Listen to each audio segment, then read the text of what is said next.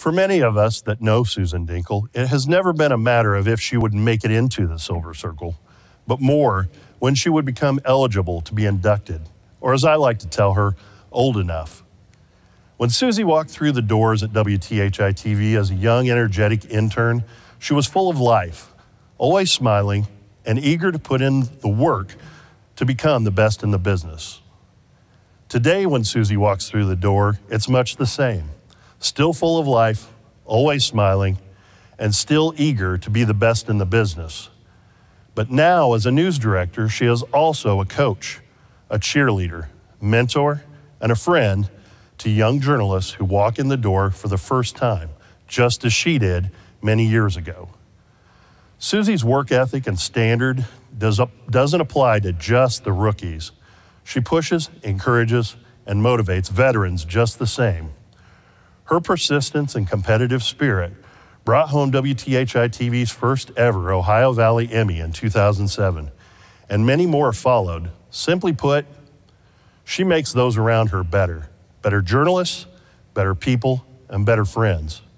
And that's why I'm proud to announce my friend, Susan Dinkel, as a 2021 Silver Circle recipient.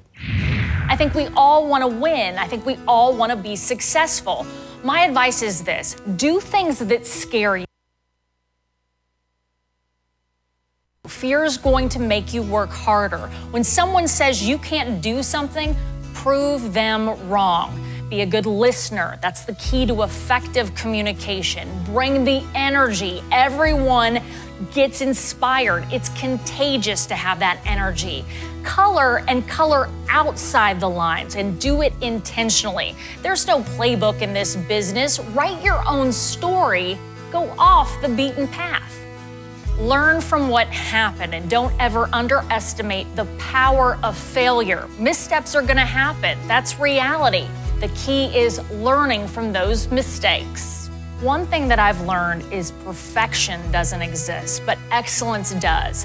And I strive for excellence in everything I do my performance, my execution, and number one, my attitude.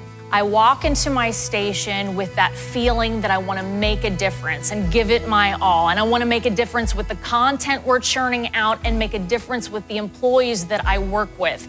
And my goal and my hope is when I leave at night that I have that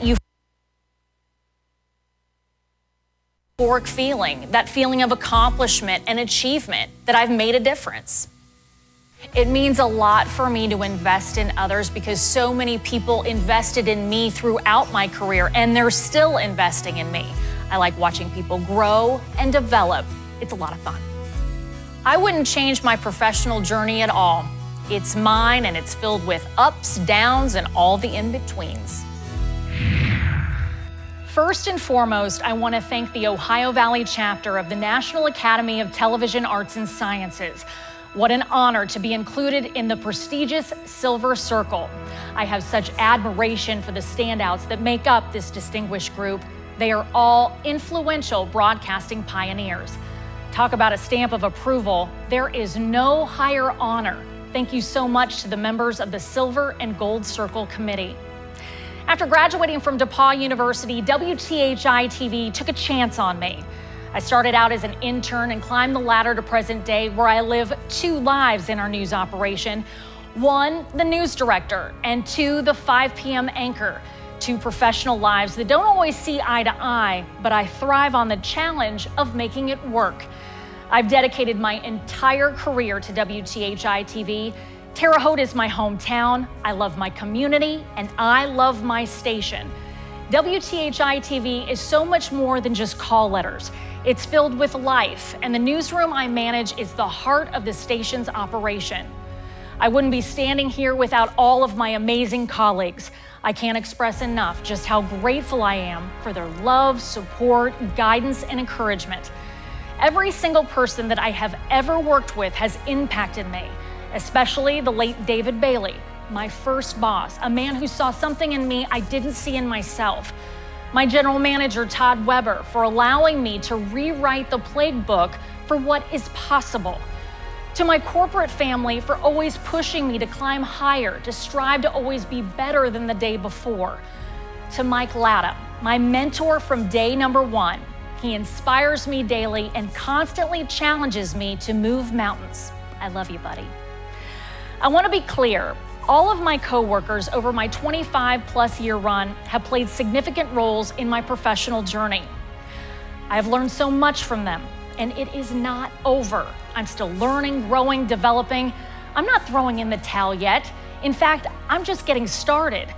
I still have a lot more ground to cover before I close out my broadcasting career.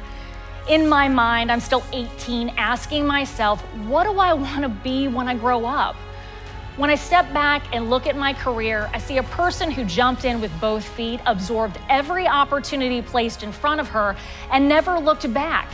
I've learned so much, including the fact that anything is possible. This is so true. The more you invest, the more you'll get back. I wouldn't be standing here right now without my faith, my family, my friends, the viewers that welcome me in their homes each and every evening, and my genuine love for broadcasting. My biggest shout out goes to my husband Jim and my daughters Lily and Claire. They know more than anyone that my career is 24 7. It never stops. They know the long hours I put in because more times than not, I'm not home. It's a crazy lifestyle, organized chaos, but it's part of who I am. Thank you, Jim, Lily, and Claire, for being my rocks, my foundation, my biggest supporters, encouragers, and my cheerleaders.